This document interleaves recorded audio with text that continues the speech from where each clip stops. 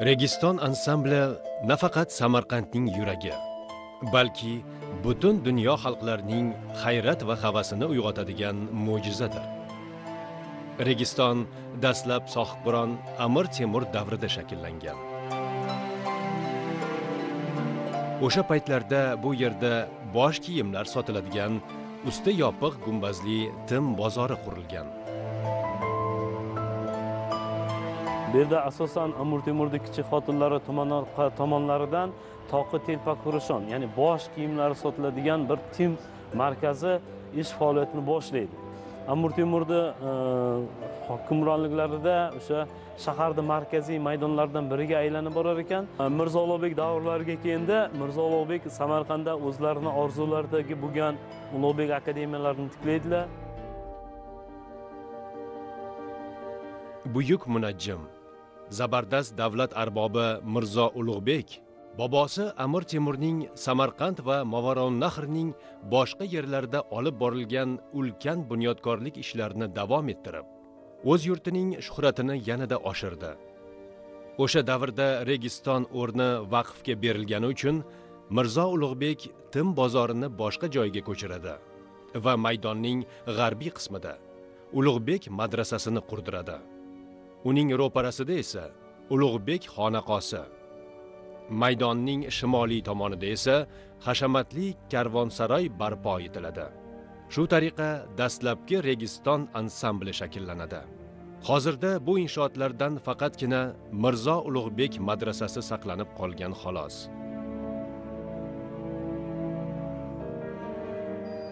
Ulug'bekning e, uchta madrasasi bor bu g'ijduvon buxorolarda qurilgan. Va e, mana shu madrasasi ulardan farqli o'laroq.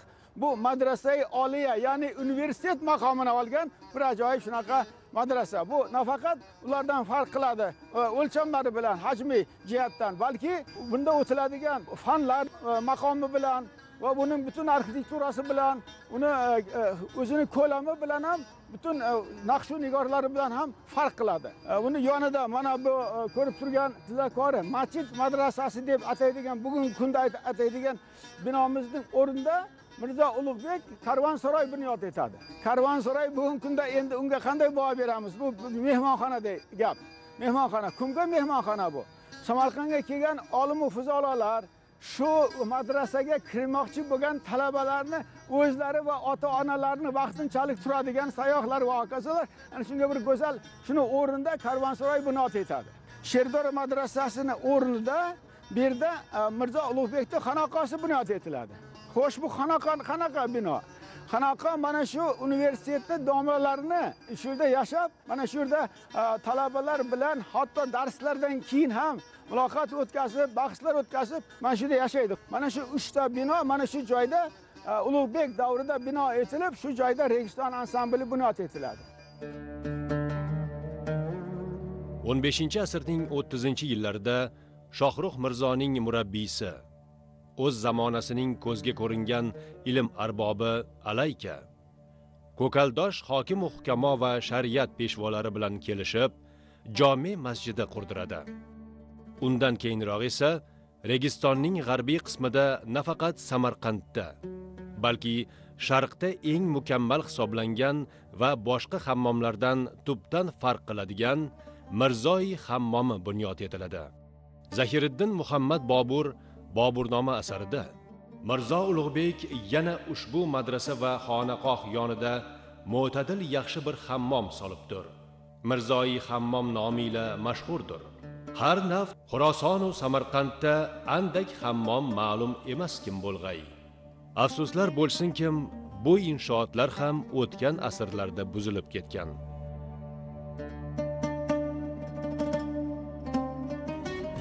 Mirzolobek madrasalari bir ming to'rt yuz o'n yettinchi yigirmanchi yillarda tiklanilgan madrasa diniy dunyoviy bilimlarga asoslangan madrasa hisoblanadi. Ya'ni arab tilida madrasai oliya ya'ni bu musulmon akademiyasi mavqeiga ega bo'lgan oliy o'quv dargohi. Mirzo ulug'bek samarqandda madrasalarni tiklash bilan bir qatorda o'sha samarqandga tashrif buyuradigan darveshlar samarqandga keladigan ziyoratchilarni inobatga olgan holatlarda biz hozir turgan sherdor madrasasini o'rnida mirzo ulug'bek tomonidan xonaqo tiklaniladi. Ya'ni bu xonaqo mirzoiy xonaqoyi deb nomlanadi. Ya'ni o'sha davrda ham o'sha ulug' aziz avliyolarni qabrlarini ziyorat qilish urf odat tusida bo'lgan. Ana shu uzoqdan keladigan ziyoratchilarni e'tiborga olganlar samarqandga keladigan darveshlarni e'tiborga olgan holatda ushbu xonaqoni tiklab xonaqoga xonaqoyi mirzoyi deb nomlanilgan. Ya'ni xonaqoni bu yerda qurilishidan asosiy maqsad shunday bo'lganki xonaqoni orqa qismida o'sha islom olamida eng ulug' qabristonlardan biri bo'lgan chokardo'za qabristoni bo'lgan. Ya'ni chokardo'za degan so'zga to'xtaladigan bo'lsak chokar askar ro'zi kun do'za qiyomat. Ya'niki qiyomat qo'yin kunida turadigan askarlar qabristoni deb nom olgan katta qabristonga mirzo ulug'bek o'zlarini xonaqolarini tiklab berar ekanlar. Xonaqoni tiklash bilan bir qatorda mirzo ulug'bek bobomiz taraflaridan mana hozirgi tillakori masjidini o'rnidan mirzoiy karvonsaroyi degan o'sha e, o'zlarini karvonsaroylarini qurganlar. Karvonsaroylarni qurilishidan maqsad bu hozirgi zamonaviy tilda aytadigan bo'lsak bu hozirgi mehmonxona sifatida pullik yotoqxona tiklaganlar. Nimaga? O'sha temuriylar davrida mirzo ulug'bek davrlarida o'sha samarqand bilasiz buyuk ipak yo'lini chorrahasida joylashgan shahar bo'lganligi bois bu davlatlardan o'tadigan karvonlar e, savdogarlarni ehtiyot o'sha xavfsizligini ta'minlash maqsadlarida ularga keng imkoniyatlarga ega bo'lgan mehmonxonalarni tiklab berganlar.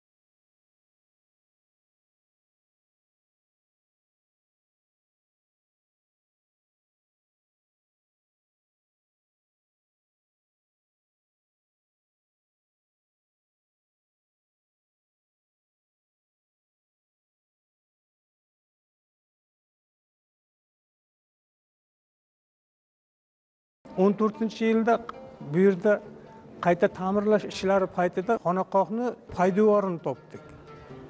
Poydevorini topdik man o'zim suratlarga olganman e, o'lchamlarini olganman va tiklab ko'rganman.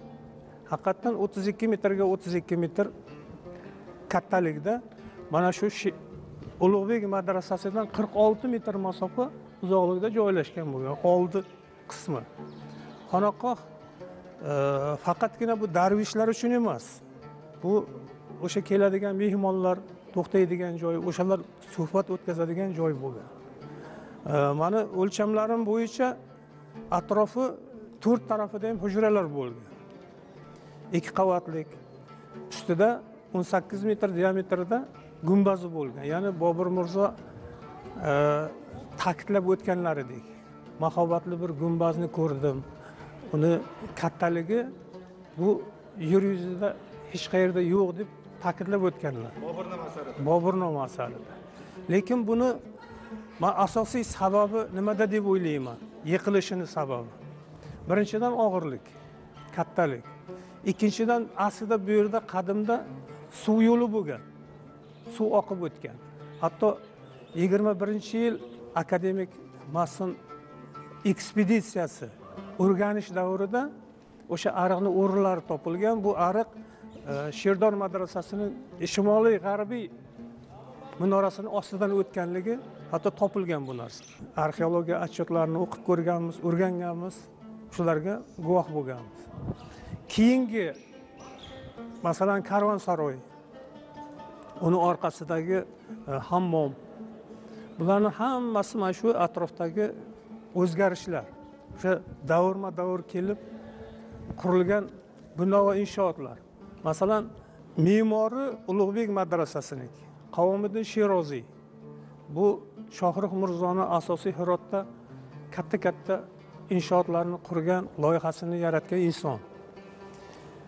Shu inson bilan bog'liq yana bir bu yerda katta masjid bor juma masjidi.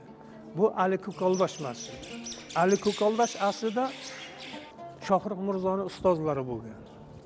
U kishi ulug'bek madrasasidan janubiy sharqiy qismida aylanasi ming qadam deyilgan masjid qurdirganlar. Qazishma ishlari paytida uning ham burchak burjini topdim.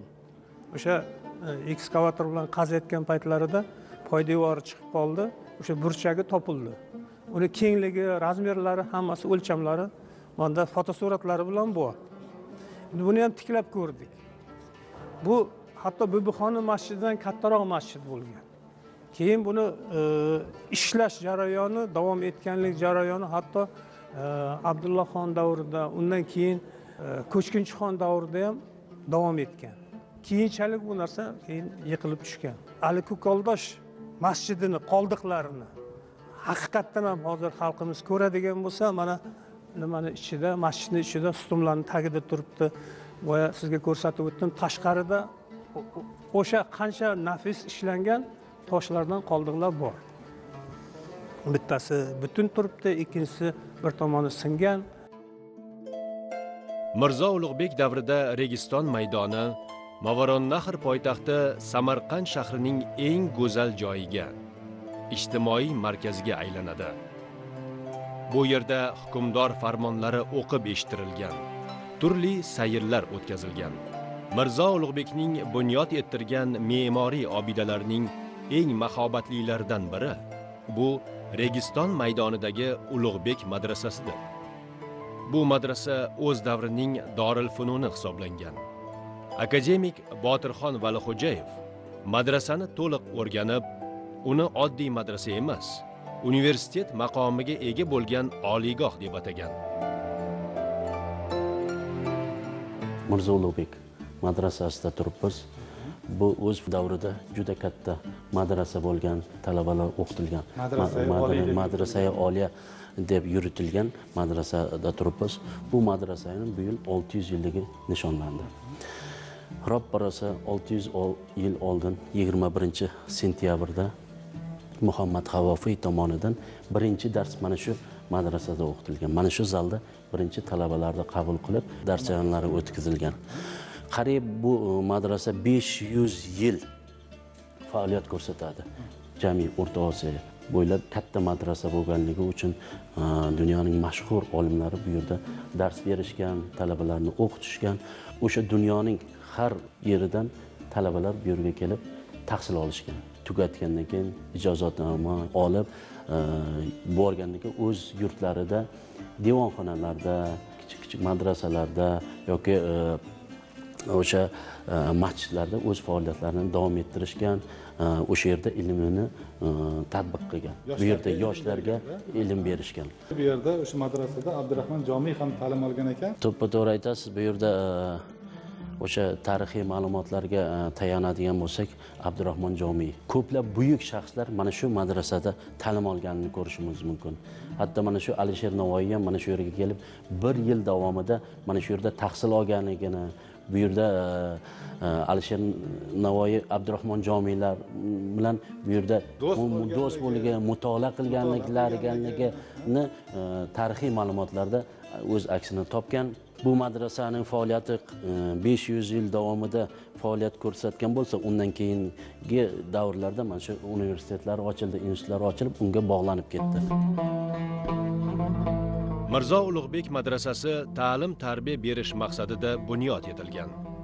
Shuning uchun ham uni qurgan me'morlar talabalarga bilim berish masalasini kompleks hal qilgan.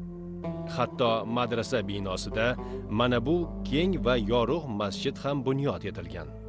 Hozirda bu masjid ko'rib turganingizdek muzeyga aylantirilgan. Bu yerlar e, hozirgi kunda turistlarga xizmat qiladigan muzey sifatida e, eksponatlarni e, tadbiq qiladigan xona sifatida faoliyat ko'rsatilyaptiki. Bizlar turistlarga qulay sharoit yaratish maqsadida ushbu zalda samarqandda ta'lim tarixi mavzusida ekspozitsiya tashkil qilganmiz. E, kelgan e, turistlar ga kengroq ma'lumot berish bo'yicha o'sha davrning sayohat qilish uchun xayolan da o'sha o'sha davrning madrasalarini ota bobolarimiz qanday o'qigan qanday ilm tarqatgan e, o'sha jarayonlarni ko'rsatib berish e, maqsadida o'sha to'qqizinchi o'n ikkinchi asrdan buyog'i ta'limning rivojlanishini mana shu ekspozitsiyada ko'rishingiz mumkin. Ko'pchilikka savol tug'ilishi mumkin. Yangi ekspozitsiya tashkil qilgan bo'lsa bu qayerdan eksponatlarni oldi ekan bironta muzeylardan oldimikan degan savollar tug'ilishi mumkin. Chunki bu ekspozitsiyani e, tashkil qilishimizda e, xodimlarimiz bilan kelishib o'sha qishloqlarda aylanib odamlardan bir so'rab ota bobolardan qolgan eksponatlarni mana shunaqangi muzey tashkil qilyapmiz yoki mana shunaqa ekspozitsiya tashkil qilyapmiz mana shunga beradimi degan savol bilan xodimlarimizni qishloqlarga chiqardikki xalqimizda hali bunaqangi eksponatlar juda ko'p ekan. Boy madaniy merosimizni hali saqlab asrab o'tirgan xonadonlar juda ko'p ekan. Bizlarni savolimizga labbay deb turib birovi kitob chiqarib beryapti birovi har xil e, turdagi o'sha e, o'n beshinchi o'n oltinchi asr o'n to'qqizinchi asrgacha bo'lgan davrda o'sha madrasalarda e, foydalanilgan eksponatlarni bizlarga tuhfa qilishdi. Mana shu qalamdonga qarang. Shunaqangi chiroyli ishlangan naqshlangan mana shu o'n to'qqizinchi asrda e, o'sha qalamdon mana bu siyoh soladigan idishi bilan mana shamdon Qarang, bu kitoblar hammasi bir nafis yasatilgan. Mana asosiysi 200 yil oldin yasalgan bu. 200 yil oldin yasalgan o'sha 19 asrda yasalgan qalamdon bugungi kunda mana shu muzeyimizga tuhfa qilishdi. Bizlar bu xalqimizdan juda minnatdormizki mana shunaqangi ota bobolarimiz qoldirgan boy madaniy merosni avaylab asrab mana shu e, avlodlarimiz kelajak avlod ko'rish maqsadida mana shunaqangi muzeylarga mana shunaqangi madrasalarga berishining o'zi bir katta gap. Chunki uyida tursa buni hech kim ko'rmasligi mumkin. Bu butun dunyodan kelib turib bizlarning ota bobolarimizning qoldirgan boy madaniy merosini bunaqangi san'at asarlarini ko'rib ochig'ini aytsam turistlar lol qolib yana ketyapti xonquljon man bitta narsaga e'tibor qaratdim. Madrasadagi muzeyga qo'yilgan eksponatlar turli xil eksponatlar bo'lsa kerak deb o'ylagandim. Yo'q unday emas ekan. Aynan mana shu eksponatlar mana shu joyda o'qigan ilmi toliblarning aynan ishlatgan kerak bo'lgan eksponatlari mana shu yerga did bilan joylashtirilganligi har qanday kishini ajablantiradi. Chunki bu e, ekspozitsiyani qilishimizdan maqsad mana shu samarqandda ta'lim tarixining rivojlanishi bu ekspozitsiyada keng mavzuli qilib joylashtirilib e, ekspozitsiya tashkil qilinganki chunki bu o'sha e, to'qqizinchi o'n ikkinchi asrda madrasalar birinchi samarqandda tashkil qilingan madrasalar o'sha shohizindada tashkil qilingan madrasalar bo'lsa undan keyingi madrasalarni hammasini mana shu ekspozitsiyamizda qo'yganmizki o'sha hattoki o'sha sud yozuvlarini harflarini hammasini mana shu e, kelgan tomoshabin sayyohlarga e, ko'rsatish maqsadida ushbu ekspozitsiyani tashkil qilgan mana bu o'n 19-20 asrlarga oid koshkul e, barchani xabarlari borki darvishlar ular ilm tarqatuvchi kishilar bo'lgan. Darvishlar o'zini yonida olib yurib u shaharman bu shaharga o'taysa birovlar o'zining minnatdorchilik anavsini bildirish maqsadida qo'liga bermasdan mana shu yerga tangalarni solgachgan tangalar solib u yurishi ovqatlanishi u shaharman bu shaharga o'tishi mana shularning hisobidan bo'lib e, bu karman vazifasini bajargan hamyon desak mubolag'a bo'lmaydi. Yashagan bugungi kungacha kashkul nima ekan qanaqangi uskuna ekan deb yuradim vaqti ham aniq ma'lumotlarga ega bo'ldik mana. Mana bu moychiroq o'sha o'n yettinchi asrlarga taalluqli moychiroqlar. Bugungi kunda mana shunday bir nafis yasalgan holida turibdi bunday nodir eksponatlar ochig'i ko'plab nomdor nomdor katta katta muzeylarda ham yo'q. Eng asosiysi bu yerdagilar nihoyatda yaxshi saqlangan. Xuddi yangiday bo'lib turibdi. O'sha asriy asriy bir necha asrlardan so'zlanuvchi eksponatlar bo'lsalar mana bu yerda e, ko'rishingiz mumkin o'sha qog'oz tarixining xaritasi. Qog'oz qaysi davlatdan chiqib mana xitoydan qaysi davlatlarga borilgan ipak yo'liga olgan mana qog'oz namunalarini qo'yib qo'yganmizki hattoki chunki madrasalarda bu qog'oz e, juda nihoyatda katta vazifani bajargan. Dars jarayonlarini mana shu qog'ozlarga bitib qo'yilgan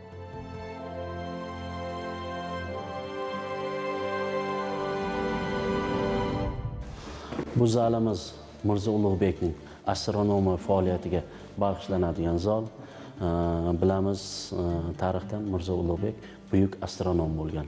Ko'rib turganingizdek bu zaldagi ushbu gravyura o'sha e, davrdagi ko'p xudolik ko'p ma'budalik quyosh xudosi deymiz astronomiya ma'budasi deymiz uraniyaning o'ng qo'lida mirzo ulug'bekni ko'rib turishimiz mumkin. Bu turli davrning olimlari. Ulug'bekdan keyin 200 yildan keyin yozilda 200 yildan keyin tashkil qilingan yozilgan kitob. Astronomiya darakchisi polyak olimining e, yangi veley astronomiya darakchisi kitobida mana shunaqangi bir gravyura bor. Mana shu gravyurada e, dunyoning mashhur buyuk olimlarni e, bir davra ustol atrofiga yiqqanki uraniyaning o'ng qo'liga ulug'bekni birinchiga qo'yyapti. Chunki hurmati yuzasidan ulug'bekning ishini ulug'bekning qilgan o'sha astronomiya hisob kitoblarini e, juda qadrlab hisob kitob juda to'g'ri olib borganligi uchun mana shu mashhur yangi velay uraniyaning o'ng qo'liga e, birinchiga ustolni u qo'yyapti. Chunki ulug'bekni ko'rmagan u ularni xayolan ulug'bek o'sha yevropa tipidagi olimlar bo'lsa kerak degan maqsadda u sharq olimlari qanaqangi soqol qo'yishi yoki sallada yurishi uning xayoliga kelmagan. Shuning uchun yevropa tipidagi olim odamlarga o'xshasa kerak deb turib xuddi mana shu ko'rinishda ulug'bekni qo'ygan o'z ishimni munosib avlodlarimga qoldirdim. Ulug'bek. Qarang.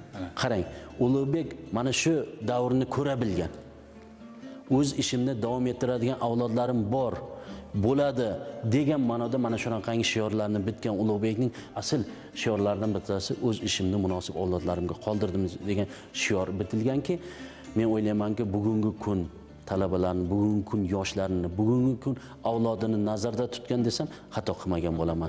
Chunki ulug'bekning ishini bugungi kunda davom ettiryapti hurmatli prezidentimiz shavkat miromonovich tomonidan ham qator qarorlar qabul qilindi o'sha astronomiyaga oid fizika matematikaga oid maktablarning ochilishi o'zi bitta quvonarli holatki mana shu muhtaram prezidentimizning ta'limga chiqarayotgan qarorlarida ko'rishimiz mumkin. Uchinchi renessans uchun poydevor. Poydevor vazifasini bajaradi. Albatta mana shu mirzo ulug'bek qoldirgan boy ma'naviy merosi mana shu kelajak avlod uchun ham bir e, Dastur. dasturi amal bo'lib xizmat qiladi deb o'ylayman muzeyga kirgan kishining e'tiborini mana bu arab alifbosida yozilgan qur'on kitobi qo'lyozmasi tortishi turgan gap. Kitob tilla suvi bilan ziynatlangan. 302 varaqdan iborat qur'onning kattaligi 60 santimetrga 80 santimetrni tashkil etadi. Eng nodir eksponatlarimizdan biri mana bu ro'paramizda turgan e, qur'on kitobi e, deyishimiz mumkin. Bu qur'on kitobi samarqand qog'ozida arab suls harfida yozilgan e, qur'on kitobi. Samarqandlik xattot abdujalil ergashev tomonidan yozib bizlarga o'sha ekspozitsiyamizga muzeyimizga tuhfa qilishgan. Mana shunaqangi muzeyga bir esdalik bo'lib qolsin. Ota bobolarimiz qoldirgan mana shu boy madaniy merosga men ham o'zimni bir hissamni qo'shsam degan taklif bilan kiritgandi. Bor jonidil bizlar bu taklifni qabul qildik. Shunday chiroyli yasalganki musulmon olamidan kelgan sayyohlarning e'tiborini albatta mana shu qur'on kitobi tortadi va bu kitobni ko'rib o'sha samarqand qog'ozida mana shu bugungi kunda qadimiy xattotlik san'atlari saqlanib qolganligining bir belgisi sifatida ularning qiziqishini oshiradi rahmat. Chunki bizlarning e, ota bobolarimiz e, mashhur xattotlar bo'lishgan o'sha madrasalarning peshtoqlariga yozishgan bilamizki e, mirzo ulug'bekning ukalari mashhur xattot bo'lgan o'shanaqangi chiroyli yozuvlari bilan qur'on kitoblarini ko'paytirish hamda madrasalarning bezaklarida u kishining xizmatidan juda ko'p foydalanishgan. Qarang yozilganligini judayam chiroyli judayam nafis. Arab imlosida shunaqangi chiroyli yozadigan bugungi kunda xattotlarimizdan saqlanib qolganligini mana o'sha qur'on kitobidan ham bir qarab bilib olish mumkin. Endi bizlarning o'sha ota bobolarimiz ishini davom ettirib kelayotgan xattotlarimiz bor. Mana shu abdujalil ergashev bir arab alibosini uch xil turida yozish imkoniyatiga ega shaxslardan biri deb ayta olaman. Bu qur'on kitobimizning joyi mana shu e, masjidning mehrobining oldiga qo'yishimizga ham bugun juda katta e, ma'nosi bor. Chunki ulug'bek davrida e, ulug'bek o'zi bilamiz astronom buyuk olim bo'lgan meridianni o'lchagan o'sha mehroblarni to'g'ri tanlagan qiblani e, to'g'ri aniqlab bergan to'g'ri aniqlab bergan insonlardan bittasi hisoblanadi. Shuning uchun bu mehrobning oldiga bizlar katta e, o'lchamdagi qur'on kitobini mana shu yerga joylashtirganmiz. Qur'on kitobi qo'lyozmasi muallifi abdujalil ergashev ham mirzo ulug'bek madrasasining bir hujrasida xattotlik bilan shug'ullanar ekan. U kishining ish faoliyati bilan ham qiziqdik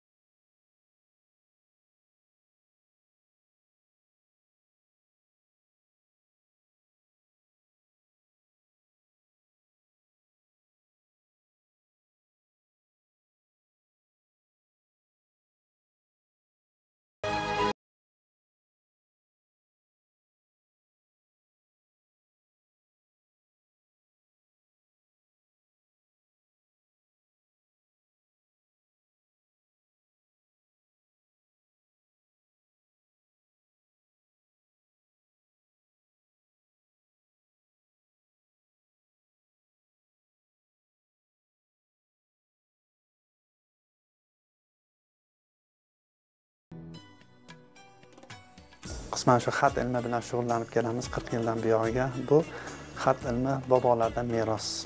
Bobolarni merosini davom ettirish maqsadida mana shu ulug'bek madrasasini bir hujrasini ustaxonamiz e, shuningdek mana bu e, samarqand viloyat shahridagi barcha qadimiy yodgorlikdagi e, yozuvlarni ta'mirlash yangi masjidlarga yozib berish faoliyatini olib boraman. Olib boriladigan yo'nalishimiz asosan suls shu kufiy keyin nasx nastalik mana shu to'rtta yo'nalish bo'yicha ish olib boraman endi mana shu yo'nalishlarning eng osoni va eng qiyini murakkabligi qaysi suls deb bilaman chunki u ham chiroyli ham katta mas'uliyat qunt e'tibor talab qilinadigan o'sha xat suls deb bilaman men uchun. Ham qiyini ham chiroylisi shu tashqarida ko'rgan bo'lsalaringiz asosan o'sha oyat hadislar suls xatida yozilgan. O'sha xorijdan kelgan mehmonlarimiz ham bu imoratni o'sha qurilish texnikasini desak o'sha ularni jalb qiladigan narsasi o'sha naqsh deymizu lekin asosan oladigan bo'lsak u naqsh emas bu hammasi yozuv ma'noni anglatadigan oyat hadislar keyin hikmatli so'zlarni o'zini ichiga olgan endi mana shu xattotlikni qachon o'rgangansiz? Xattotlikni yoshligimizdan o'quvchi o'quvchilik vaqtimda yaxshi rasm chizar edim buni endi madrasaga kirganimizdan keyin e, qaradikki o'sha xat san'ati bilasiz qadim qadim zamonlar bobolar e, mana bu bu insoniyat yaraladiki hozirgacha masalan chiroyli narsalarga inson har bir narsani risolasiga yetkazishni xohlaydi. E, chiroyli yozishlik mana shu xatni tarixi ham uch ming yil oldingi davrga borib taqaladi. Hozirgacha uch mingga yaqin xat uslub yo'nalishlari mavjud. Shuni asosiy endi yettita asosiy o'sha yettita xatni e, o'rgangan kishilarga o'sha xattotlik unvoni berilgan. Hatto albatta bu narsa mehnat e, mehnat qunt e, harakat talab qiladigan. Bu samarqand qog'ozi bu mashhur mm, mana ming yillardan buyog'iga dunyoga qancha qancha mahsulot yetkazib berilgan fabrika o'sha samarqandda bo'lganda bu to'g'risida xabarlaringiz bor. Endi biz ham shu mashhur qog'ozga e, bu ko'p turadigan ancha ming yillab e, asarlarga asarlarni yetkazib beradigan bir qog'oz baquvvat mm, tabiiy yo'l bilan olinadi bu. E, endi bunga agar qur'on bilan jilo bersak qur'on bilan yozadigan bo'lsak yana nur ustiga yana a'lo nur bo'ladi. Uch yil mobaynida samarqand qog'oziga sulh uslubida bitta qur'onni yozib shu registon e, e, majmuasini muzeyga taqdim qildim. Endi ikkinchi niyatim bu. An'anani davom ettirish maqsadida samarqand qog'oziga o'sha yettinchi sakkizinchi asrdagi uslub bo'yicha kufiy xatida e, qur'onni to'liq o'sha uch yuz varaqni yozib buni imom buxoriy ziyoratgohi muzeyiga taqdim qilish niyatim bor. Shogirdlarimiz ham bor. Mana yaxshi shogirdlarimdan shu so'z xatini hozir mana re harfini yozish uslubini o'rganyapti hozir o'sha. Shogirdlar ham tayyorlayapsiz? Ha shogird ham tayyorlaymiz albatta. Endi besh shogird ustoz bu besamara endi mevasiz daraxt deganda gap endi albatta bu farzandlarimiz ham yaxshi o'rganishgan. Sayyohlarimiz endi ularga qiziqadigan narsa jarayon ya'ni yozishimizga kelib qiziqadi. Tomosha qilib turishadi.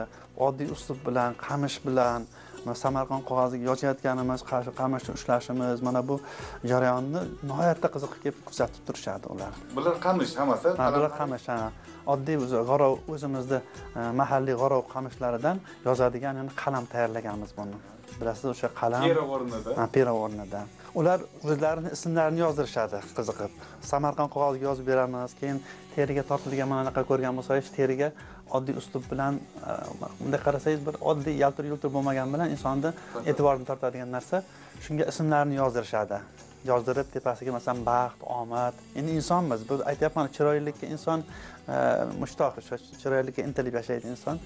Chiroyli qilib yozib berganimizdan keyin oh very nice very nice very good good deb qo'yadi degan gaplarni eshitamiz.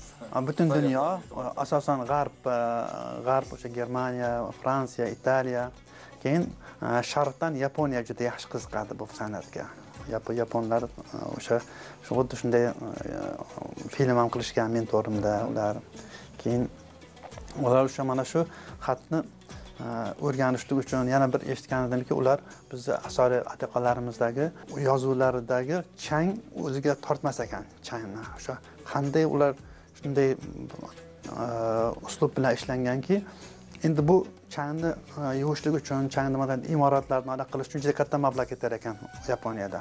Shuni bizni mana imoratlarimizdagi g'ishchalarni o'rganib o'sha g'ishchani o'sha yaltiroq qismi nimadan tayyorlanadi nima uchun chang o'tirmaydi unga? Shunisini o'rganayotganini yaqinda eshitdim men shuni. Mirzo ulug'bek madrasasi registon maydonidagi eng ulug'vor me'morchilik inshootidir inshoot amir temur va temuriylar davrida shakllangan eng ilg'or me'morchilik maktabining barcha xususiyatlari ulug'vorligini o'zida mujassam etgan. Registon ansamblining shakllanishi haqidagi fikr mulohazalarimizni shu yerda to'xtatamiz. Dasturimizning keyingi sonida registonning hozirgi ko'rinishi qachon paydo bo'lganligi sherdor va tillakori madrasalari kim tomonidan bunyod etilgani haqida so'z yuritamiz.